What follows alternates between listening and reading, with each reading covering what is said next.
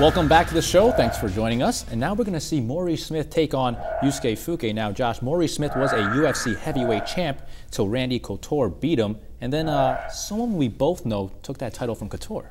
I did, and uh, funny enough, uh, Randy Couture had been coming up and training in Seattle for various fights uh, in between the one uh, that in between uh, uh, prior to sorry the fight that we had uh, for the UFC heavyweight title, and actually training with Maurice Smith uh, at that time. And when I competed against Randy Couture, Maurice Smith was in his corner. All right, th- this is Maurice Smith's third fight. Let's see how he fares.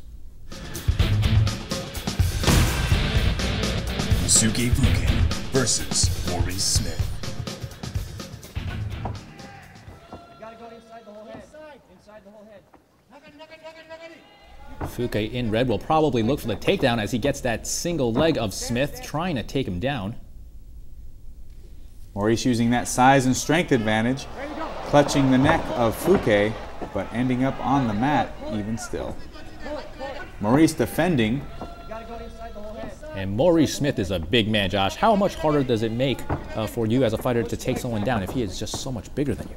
well, I, I can say that taking guys down like Semmy Schilt and uh, nice, Nice reversal by Maurice, uh, taking guys down like Sem Schilt, uh, Jimmy Ambriz, and uh, um, Dan McGee is quite the difficult uh, endeavor. And uh, you know, when you got a guy 300 pounds, six foot ten, which is a, someone sizable in comparison to me, uh, that's a lot of weight to move around. And Fuke here is going to have to. Well, nice single leg trip up by Fuke, taking uh, making it a little easier for him, but. And he's expending a lot of energy trying to throw Maurice Smith around like that. And Maurice Smith is a world-class kickboxer, so Fuke will want to keep this fight on the ground where he can neutralize those kicks. Fuke in good position now on top of Maurice, looking for the leg, but Maurice, oh, and a nice armbar transition by Fuke. As the fighters uh, a little too close to the ropes, uh, we can probably expect the refs to break the up once again. As he does right there. And Smith able to get his arm free as well, but being in the ropes, as you said, forcing the restart. Both fighters on their feet. Maurice Smith has to be uh, happy about that right now.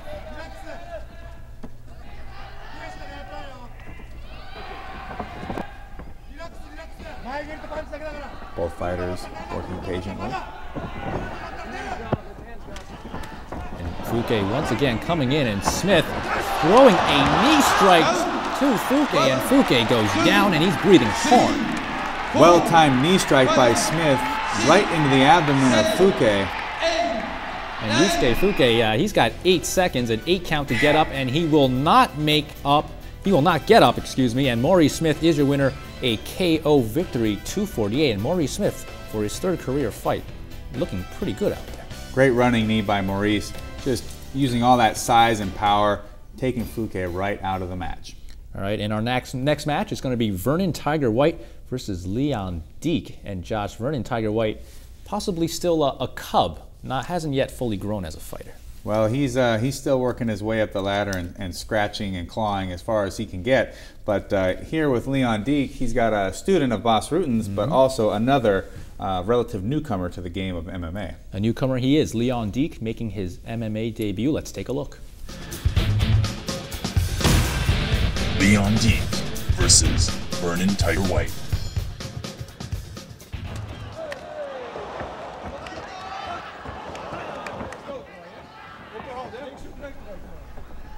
White, a nice spinning leg kick, and Dijk responds with a kick of his own. Dijk keeping the pressure on. Big showcase from Dijk. Nice high kick.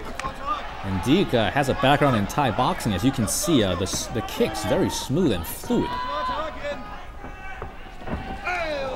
Dijk. Nice big spinning back roundhouse by Leon. Ends up in the takedown though by Vernon White.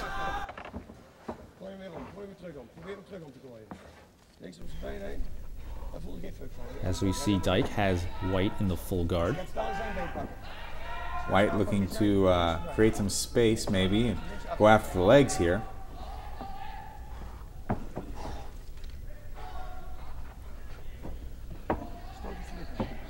And Dijk covering his head. And now Op zijn lichaam. White once again. Now, White's submission moves uh, not too impressive yet at this point in his career, but uh, as we see here, possibly trying to work on the legs of Vernon drops that leg across. Going after the heel hook is both men. And both men giving it everything they got, and White just gave it a little more. He wins via the heel hook, and he is fired up. All right, moving on to our next bout. It's Masakatsu Funaki versus Robert Bjornethun. And uh, Bjornethun, he's from your neck of the woods, Josh. He is. He was uh, one of my teachers over at AMC. Uh, an incredibly tenacious individual with uh, hellacious strikes, uh, facing against a very tough and grizzled uh, competitor in Funaki here. Funaki having all the experience, but uh, Bjornethun didn't get the nickname the Pit Bull for nothing. And with a name like Robert, I think he might give some incentive for you to cheer him on. Uh, as long as his name's not Bob, I'm okay with it. And let's see if Bjornethun can come through versus Funaki. Robert Bjornethun versus Masakatsu Funaki. And he is coming in on Funaki, and uh, early on, it doesn't look like he's intimidated at all. No, Bjornethun is not the kind of guy to, to back down regardless of the situation. Uh, I, I, he knows that Funaki is, is the top guy in Pancrase. Move to the side.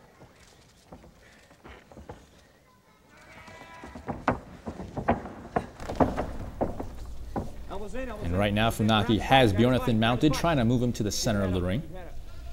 Funaki here, settling in the mount, trying to get uh, that lock around his waist broken.